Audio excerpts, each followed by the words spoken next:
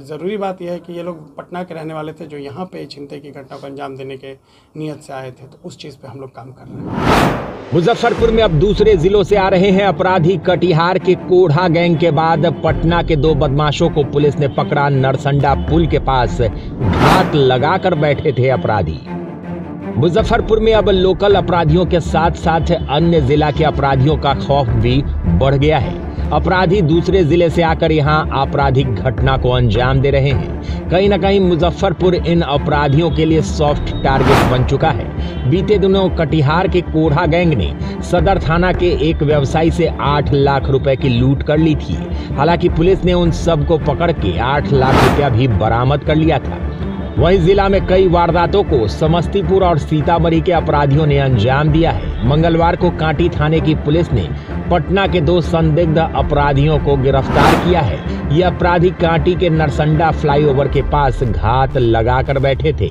Police की गश्ती team को दोनों बदमाश संदिग्ध स्थिति में दिखे तो पुलिस ने उन्हें पूछताछ के लिए रोका।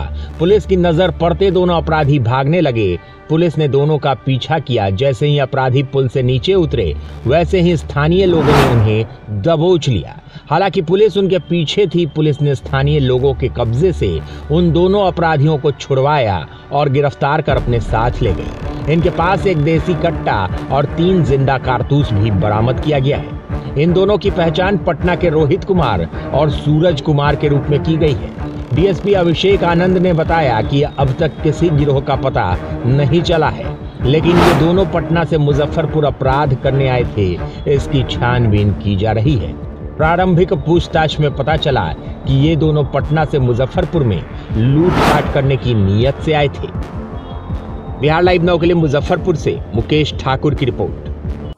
कल काटी थाना क्षेत्र अंतर्गत दो अलग घटनाओं में पुलिस के द्वारा गिरफ्तारी की गई।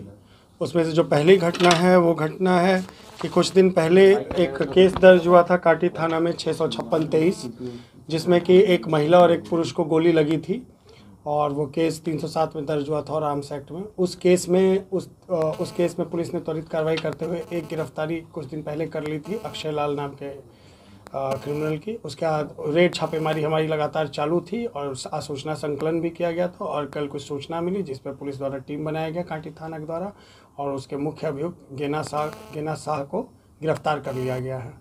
और एक जो दूसरी घटना काटी थाना अंतर्गत हुई है, वो ये है कि कल रेगुलर गश्ती और चेकिंग करवाई जा रही थी, जो रात को हम लोग करवाते हैं हर रोज़। उसके दौरान एक संदिग्ध बाइक को रोका गया। पुलिस को देख, पुलिस वाहन को देख के बाइक वापस मुड़ के तेज़ी से भागने की कोशिश कर रही थी।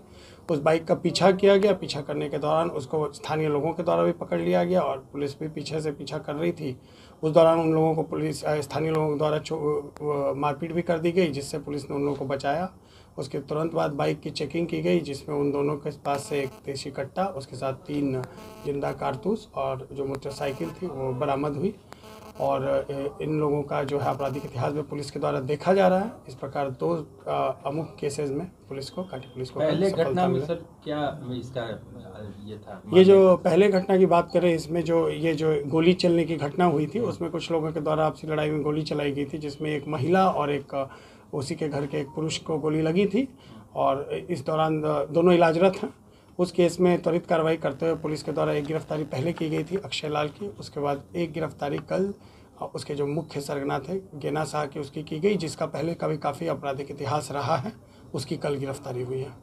रीजन क्या था सर गोलीबारी का? अभी तक जो निकल के आया वो है आपसी लेन देन का कुछ मामला था गाँव का जिसमें कुछ पैसे का विवाद था उसको लेके गोलीबारी चली है। ये जो दो अपराधी गिरफ़्तार हैं क्या कुछ रिकवर और लोकल हैं या बाहर के रहने वाले? हाँ ये जो दो अपराधी गिरफ़्तार हुए हैं ये दोनों पटना के हैं। अभी तक जो इनिशियल छानबीन हुई है उसमें ये दोनों पटना के अपराधी हैं जो कि लूटपाट की घटना को करने की नीयत से आए थे जो अभी तक इनसे पूछताछ में पता चला और इनके पास एक देसी कट्टा भी था जिसमें कि तीन ज़िंदा कारतूस भी थे। और ये लोग नरसंडा पुल के पास जो कि रात का समय था तो ये लोग कुछ छीन छीनते करने की घटना को अंजाम दे सकते थे और जिसके जिसके जिसके दौरान पुलिस के द्वारा जो चेकिंग की जाती है रात को गश्ती द्वारा उसके द्वारा जो वहाँ के पदाधिकारी थे रजनीकांत उनके द्वारा हाँ, उस गाड़ी को संदिग्ध अवस्था में देखा गया तो उसको रोकने की कोशिश की गई। गाड़ी के को द्वारा भागा गया और उसको फिर पुलिस और लोकल पुल- लोग जब गाड़ी पुल से उतर गई तो वो लोकल लोगों द्वारा पकड़ा गया क्योंकि पुलिस की गाड़ी भी पीछे लगी हुई थी तो उसमें वो लोग पकड़ाए। किसी गिरोह से ताल्लुक रखते हैं क्या अभी तक तो ये गिरोह वाली बात खुल के बाहर नहीं आई है। हम लोग कोशिश कर रहे हैं कुछ पता चल जाए। उनका एक दो नंबर मिला है उस पर भी हम लोग काम कर रहे हैं। जल्द से जल्द इसमें अगर और लोग भी होंगे जो इस तरह की घटना करते होंगे वो हम लोग ज़रूर खोज लेंगे और इसमें ज़रूरी बात यह है कि ये लोग पटना के रहने वाले थे जो यहाँ पे छिनते की घटना को अंजाम देने के नियत से आए थे तो उस चीज़ पे हम लोग काम कर रहे हैं।